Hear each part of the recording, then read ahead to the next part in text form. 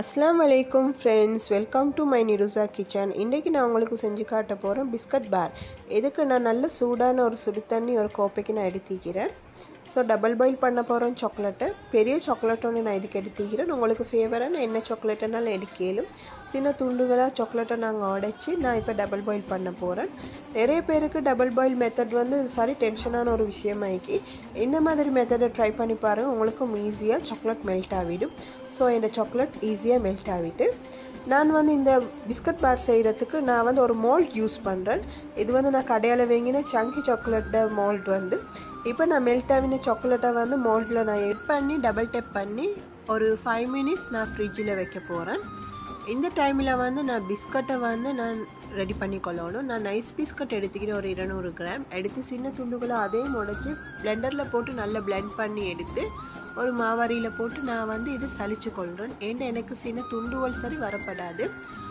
இப்போ நான் வந்து சீனி ஒன் டீஸ்பூன் நான் இதுக்கு ஆட் பண்ணுறேன் அதுக்கே ஒரு முக்கால் கப் பால் பேக்கெட்டில் இருக்கிற பாலை நான் எடுத்து கொஞ்சம் கொஞ்சமாக சேர்த்து நான் இந்த பிஸ் இந்த பிஸ்கட்டை மிக்ஸை வந்து மிக்ஸ் பண்ணிக்கொள்கிறேன் பாலையும் பிஸ்கட்டையும் நல்லா மிக்ஸ் பண்ணிட்டேன். இப்போ சாக்லேட் பாரை நான் வெளியே எடுத்துட்டேன். ஏன்னா பிஸ்கட் மிக்சரும் ரெடி ஆகிட்டு ஸோ சாக்லேட் பாருக்கோசக்கால மிக்சரை நான் போடுறேன்.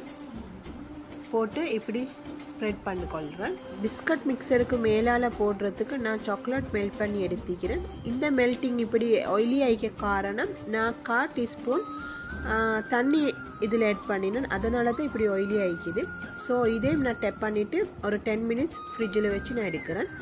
இப்போ ஃப்ரிட்ஜில் வச்சு எடுத்த இந்த பிஸ்கட் பார் வந்து கோனரை நான் கத்தியால் நான் கோனர் பண்ணிக்கொள்கிறேன் அப்போ எனக்கு ஈஸியாக கலட்ட லேசி ஸோ கலட்டிட்டேன். ஸோ ஃப்ரெண்ட்ஸ் நீங்களும் ட்ரை பண்ணி பாருங்கள் லைக் பண்ணுங்கள் ஷேர் பண்ணுங்கள் சப்ஸ்கிரைப் பண்ணுங்கள் அண்ட் ஸ்பெஷலி ட்ரை பண்ணுங்கள் தேங்க்யூ வெரி மச்